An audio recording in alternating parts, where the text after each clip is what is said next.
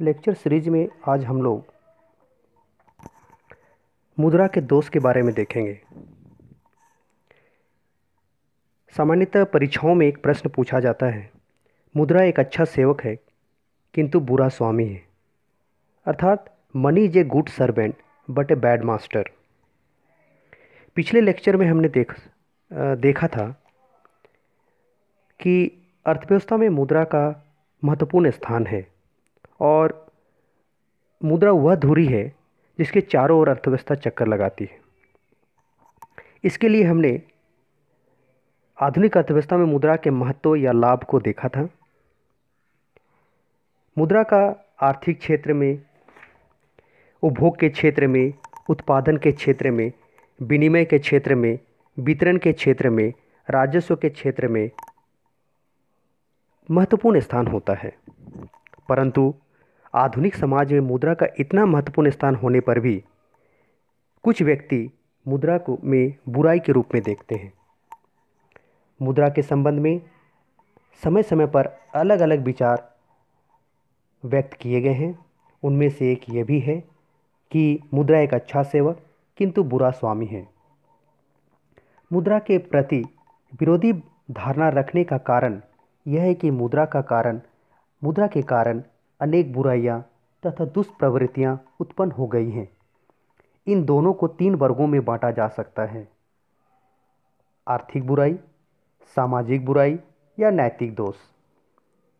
Economic demerits, social demerits and moral demerits.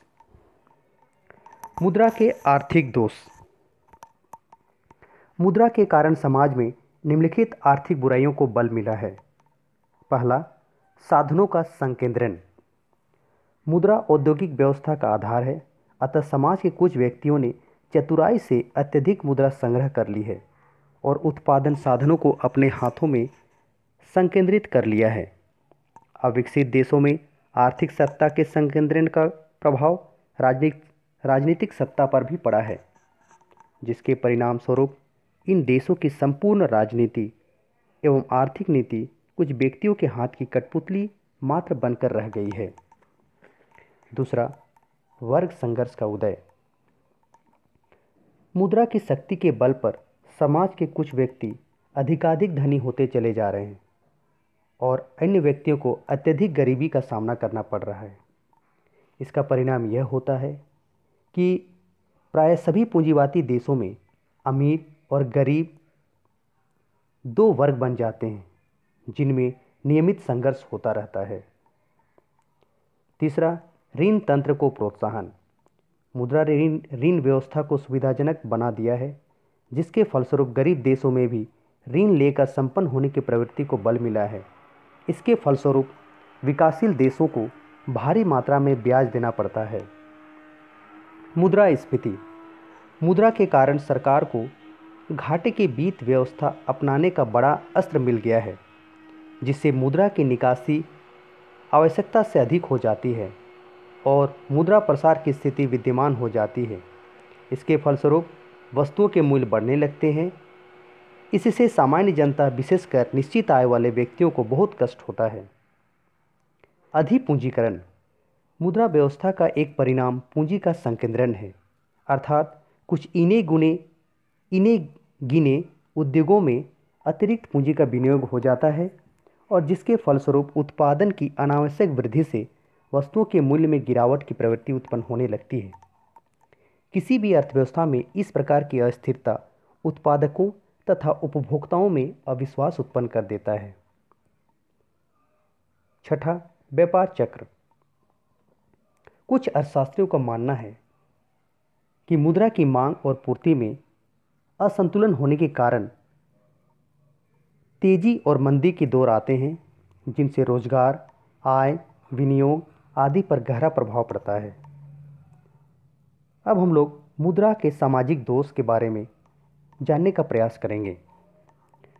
मुद्रा ने मनुष्य के सामाजिक जीवन को बुरी तरह झकझोर दिया है, जिसका अनुमान निम्नलिखित तथ्यों से लग सकता है। पहला प्रतिष्ठा मूलक अधिक मुद्रा का स्वामित्व समाज की प्रतिष्ठा तथा सम्मान का द्योतक बन गया है। इस धारणा के कारण समाज में मूल्यों का असंतुलन स्थापित हो गया है, क्योंकि धनी व्यक्ति को बुद्धि, कौशल, ईमानदारी, त्याग, श्रम आदि सबसे बड़ा समझा जाने लगा है।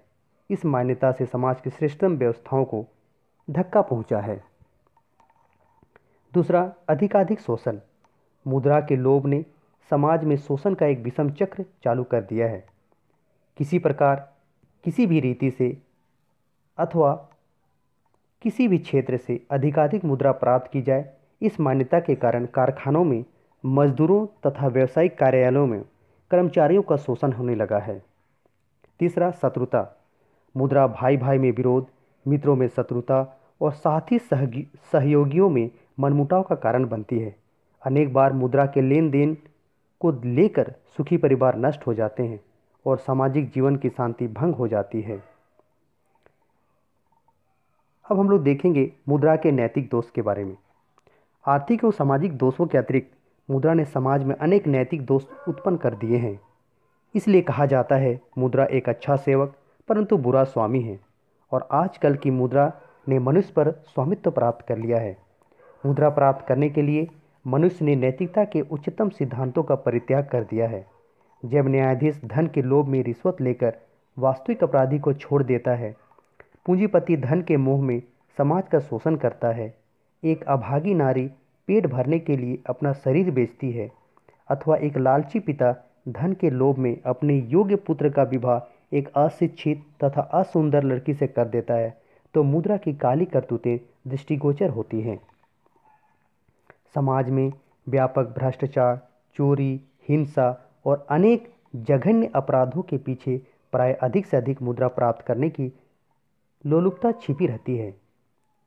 दुर्भाग्य से मनुष्य मुद्रा को साधन के स्थान पर साध्य समझ बैठते हैं और उससे प्राप्त होने वाले भौतिक आनंद को ही वास्तविक सुख समझने लगते हैं। यह दुखद स्थिति है। अधिक पाने की लालसा में कई दोषों का कारण बन जाता है। एक स्वस्थ व्यक्ति अच्छे भोजन को पसंद करता है, किंतु भोजन उनका उनके जीवन में लक्ष्य नहीं होता। है इसी प्रकार स्वस्थ मस्तिष्क वाले व्यक्ति मुद्रा को पसंद करते हैं, किंतु धन कमाना उनके जीवन का एकमात्र लक्ष्य नहीं हो सकता है। अतः वर्तमान समय में हम लोग देखते हैं कि कई तरह की सामाजिक कुरीतियाँ, व्यभिचार, मुद्रा के मुद्रा, अधिक मुद्रा प्राप्त करने के कारण लोगों की मानसिकता बन गई है। इस तरह मुद्रा के कई दोष हैं। जब हम मुद्रा के महत्व और मुद्रा के दोषों दोनों को हम लोग एक साथ देखेंगे तो इससे यह स्पष्ट होता है कि मुद्रा एक अच्छा सेवक है, अर्थात इसके द्वारा हम विभिन्न समाज के विभिन्न आवश्यकताओं को पूरा कर सकते हैं। परंतु बुरा स्वामी है, पर इसका तात्पर्य यह है कि जब हम मुद्रा को मुद्रा को इसलिए प्राप्त करना चाहते हैं, क्योंकि हम हम उससे समाज में श्रेष्ठता प्राप्त करते हैं, अमीर और गरीब के बीच की खाई बढ़ती जाती है,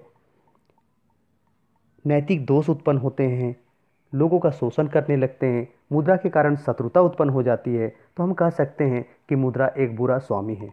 इस तरह यह कथन सही है कि मुद्रा एक अच्छा सेवक किंतु बुरा स्वामी है।